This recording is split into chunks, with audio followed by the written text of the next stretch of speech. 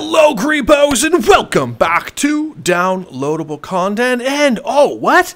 Do you hear that? It sounds like it's Monday because it's Mod, Showcase, Showcase Monday. This week is fantabuloso because I get to show you U12 mods that actually work. Don't go anywhere because these are coming at you fast. First up is the NPC spawner spell by Talion. The cool thing now in your actual um, menu map, you have a mod section, which is a built-in mod like manager itself where you can change things. So right here is you select the actual enemy you want to spawn.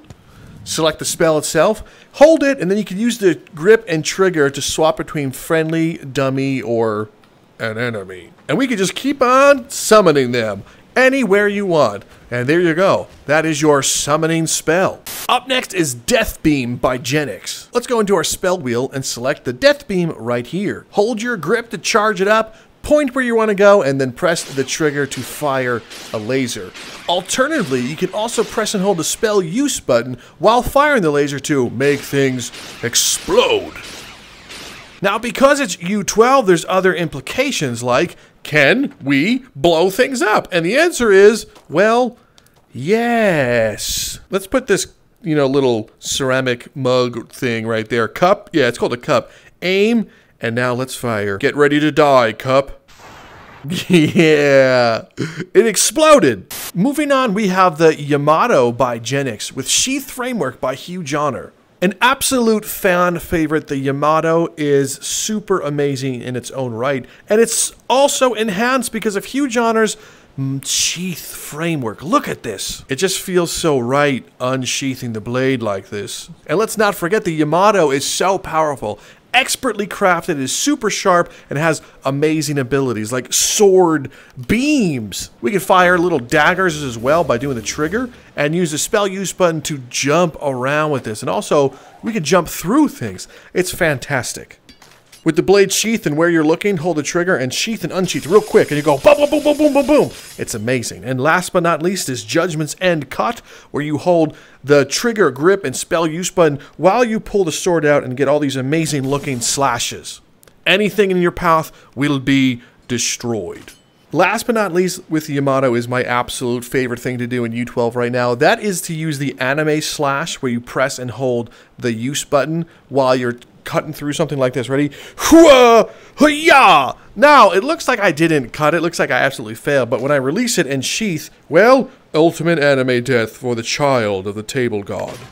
Moving on is Realistic Bleeding by Janako. This one's pretty straightforward, but when you do damage to an NPC with a blade or blunt or anything like that, it's going to bleed. It's going to drip blood everywhere. I'm sure you've seen this before, but I just wanted to show you that it's working in this one. One of my all-time favorite mods. Up next is the Explosive Spell by Jenix. Go into your spell wheel and select a little explosion right here, but be careful because it's really powerful. Aim where you're going and do the trigger for BOOM! Look at that one. Bam! It's even a great utility to get around. You could be, you know, like um, uh, Blammy Explosion Man from My Hero, what, Bakugo. it's really cool. So, as I wait for the Wings mod, this is really how I've been getting around the island. And once again, because it's U12, there's other implications. Prepare yourself, Barrel, for a Dragon Ball Z demise! Ah! Yeah, it it died. Moving on is Zandatsu by Jenix. Zandatsu right now starts off as a spell that you have to wield, but if you go into your little menu page right here and go to Zandatsu, you can customize it to your liking. For me, I turn off blue tint, and I turn off the spines. You could turn off slow motion requirement and the spell requirement to make sure it's always on if you like that. So what I'm going to do is select it and cast it. And now I'm going to need a friendly volunteer. And why not show you with the beautiful Yamato? So of course you can dismember wherever you want, but now when I go into slow motion and chop the torso, he embarrasses me and it fails immediately. Alright, it's time for you to get anime killed. Alright, tell me if this looks cool right now. Did he get cut in half? Damn it! Yeah! there we go! Zandatsu enables you to cut them in half down the middle and also by the hip as well. It might make it easier with the sword beam. There you go. Hua! Now's the perfect time for me to show you the next mod, and that's the Destructo Disc, also by Jenix. Find it in your spell wheel, looks like a Destructo Disc from Dragon Ball. Hold the trigger to cast it, and then throw it kind of like a claw. It's going to go wherever like you release it, so you can cast it overhand, underhand, side hand. It is very cool. And if you cast it on a normal meatball guy, obliterated. But remember, if we mix that with Jenix's other spell like Zandatsu, it works out great.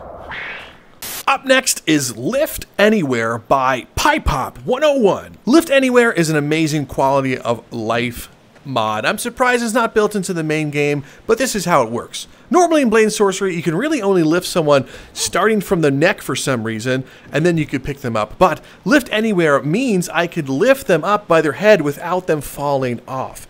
So I, I, always forget that this isn't a main feature of the game, and when I was playing around with U12, I was grabbing them by their shoulders and they were like falling. I'm like, what the hell? But Lift Anywhere literally lets you lift them anywhere without having to let go. It, you absolutely need this. If you don't have it, you're missing out. Go download it now! Moving on is the Flip Spell by Jenix. Without the spell wheel enhancer right now, it's kind of hard when you um, have a bunch of these other ones, but for me, it's located on the bottom right here. And when you're moving and then jump, you're to do the trigger to actually flip. Now, I've customized mine, so I flip a little bit slower, so it looks a little bit more quote-unquote realistic for me, so I could be like, whoo, flip, and land, you know, without throwing up. Here's what it looks like for you guys. Hook, yeah! How'd I look? That looked pretty cool, right? Now, if you play your cards right, you could also Hollywood movie style make this look awesome. Check out the sick parkour trick. Check this trick out, parkour.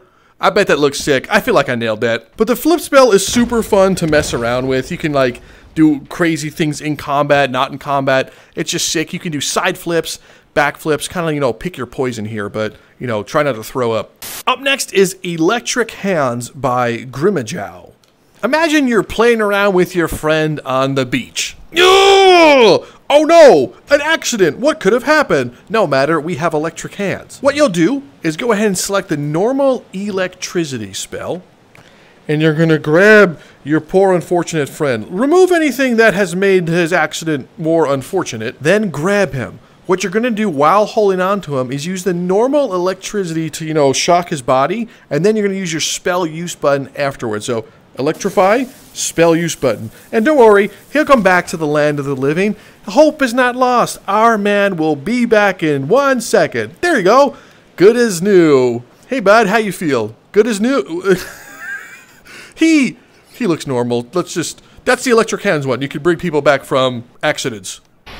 Up next is Armament Haki by Jenix. This one's really cool because it really enhances your melee combat. And when I mean melee, I mean hand to hand. What you do is you go into your spell wheel and find, I believe it's this one. Like I said, it's hard when they have the same ruins. But you select this one and then you cast it. And it's going to change the color of your hand. Not this hand. This hand's already pretty dark. But I, I cast on this hand. I mean, I can cast it on this hand as well. And we'll hear it here we go. But what this does, it turns my arms into like actual weapons so I can block enemies' attacks. Huh! Huh! it's really powerful. Bring it on, block, mash your face in. It's just so powerful. Boom in your face and then uh, yeah, so if you're looking to do some hand-to-hand stuff, use Armament Haki because you could do an amazing, you know, dungeon run just by using these alone because you get block weapons. Our penultimate entry today is Exploding Fireballs by Jenix. Now this one's also pretty straightforward. It actually takes place of your normal fireball, so keep that in mind. Go to your spell wheel and select the normal fireball. Charge it up like you would, cast, but when it hits things, it's going to Ba-boom! Very fun one. And remember, because it's U12, there's other implications. Let's take another one of these barrels. And we're gonna bring it all the way over here for some uh, target practice. There you go, Mr. Barrel. You stay right there. And I will stand all the way over here. So what I'll do, charge up a massive fireball. And then we destroy the barrel. Huh! Boom! That's right. Our final mod this week is the Dungeon Room Selector by Hujohner. Now this mod is quickly becoming one of my favorites because it lets me select any level of my choosing in the outpost. You go to your map and you don't go to outpost, you go to outpost rooms and click on that one, then move over here. You can select the amount of numbers of NPCs on there, but the most important part is right here. You can see if it's connected or not connected. I leave that as true, but we can select whatever we want. So if I wanted to go to the watermill, I easily can. It's all in here. The lighthouse, boom. Let, let's let's go to the lighthouse. Travel. You know what? I just thought I probably shouldn't have selected the lighthouse because that's a starting point. Don't worry. Let, let me show you a different one. Let's go to the watermill. There we go. Started us off in a spooky cave, but that's okay. I'm going to bring you guys to the watermill because I chose this level for us. And there's some daylight. Let's just blow this out. and look, we get to just be in this glorious room. You could choose any of the rooms now in the dungeon. So if you have a favorite one that you want to hang out in, you could do it here. Keep in mind there's no weapon book and there's no um, uh, wave spawner buck because they're dungeon level, so don't expect there to be that. So either bring weapons you want in with you or pick up other ones. You can choose the enemies going into it, but also there's the NPC spawner spell, remember, where you too can just spawn in any enemies as you like. I just love being able to just, you know, hang out wherever I want and just straight up chill. Sometimes I just want to chill in Blade and Sorcery, and this is ah, so relaxing. I said it's so relaxing. Well, my friends, that is it for this week's Mod Showcase Monday. I hope you had a ton of fun. Remember, these are all for U12, and you no longer need to click a link. I will still provide them in the description, but these all can be installed right from the in-game mod manager. That's right, we have an in-game mod manager right now, so you can just go boop, type it in, and download. Anyway, if you're new to downloadable content, why not consider subscribing? It's free. All you have to do is click the subscribe button and join up, and I will greatly appreciate it. Special thank you and shout out to my patrons. Thank you so much for supporting your local lunatic like me. But other than that, thank you all so much for stopping by. I'm Rob from Downloadable Content, and I will see you next time.